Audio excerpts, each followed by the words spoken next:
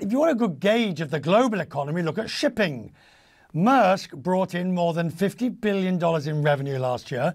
It's got 700 ships sailing around the world and it's expanding its fleet to include ships that run on low carbon uh, methanol at the moment. Vincent Clerc is the CEO of Maersk. He is with me now. That is the big ship behind you, sir, isn't it? That's the, the, the new ship. Tell me about it briefly.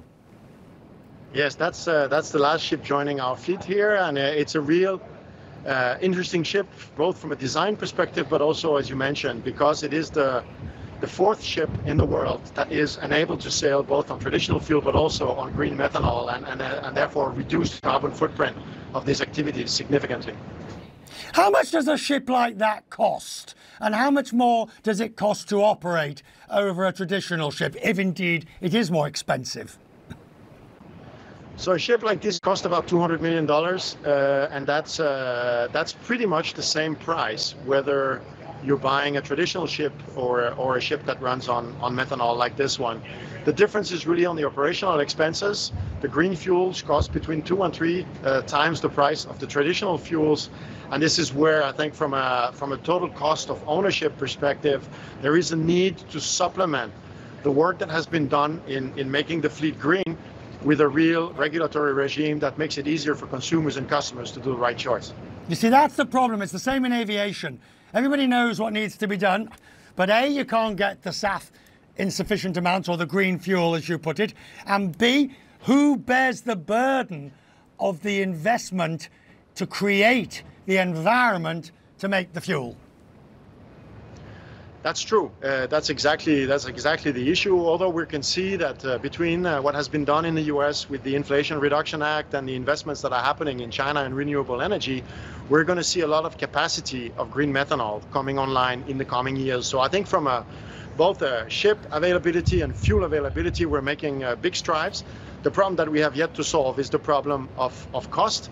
And there, the industry has actually made a proposal to the International Maritime Organization that if we can get accepted or if we can get something similar right. to what we propose accepted, then we can actually decarbonize this entire hard to abate sector.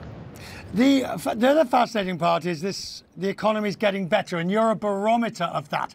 Now, uh, container rates are, go, are, are steady and good, the volumes are good. Things you are seeing an improvement in global economic growth at the moment. I think what we have seen throughout uh, the last couple of years is an incredible resilience of the global economy, even in the aftermath of, uh, of COVID. The expectations that there was for hard landings or recessions, whether it was in Europe following the U invasion of Ukraine or in the United States, this has not materialized as we see, and we continue to see strong container demand, and we expect that to last probably through the year.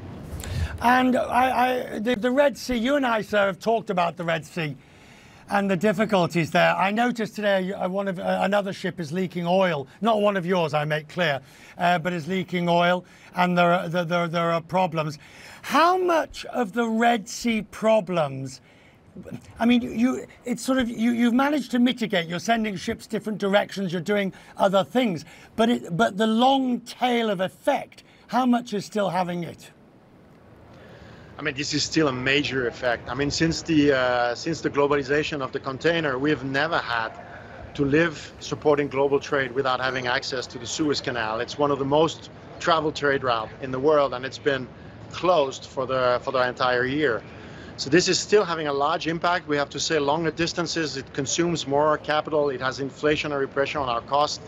So this is still having a, a, large impact, and there is no real sign of de-escalation in the situation of the situation on the ground. With, as you mentioned, ships every year, every week, still being subject to attacks.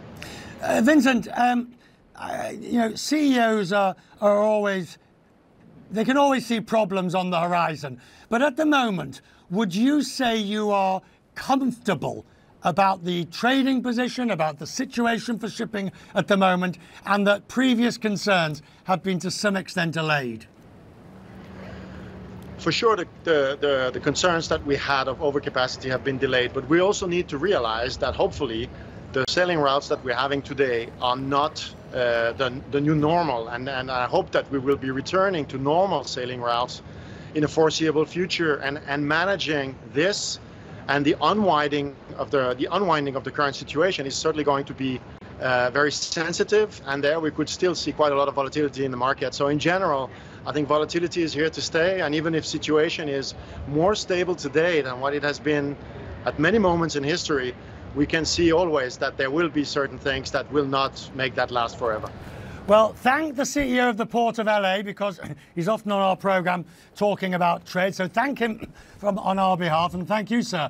What a gorgeous ship uh, behind, and we look forward to, to, to visiting it. Thank you, sir. I appreciate your time. Thank you.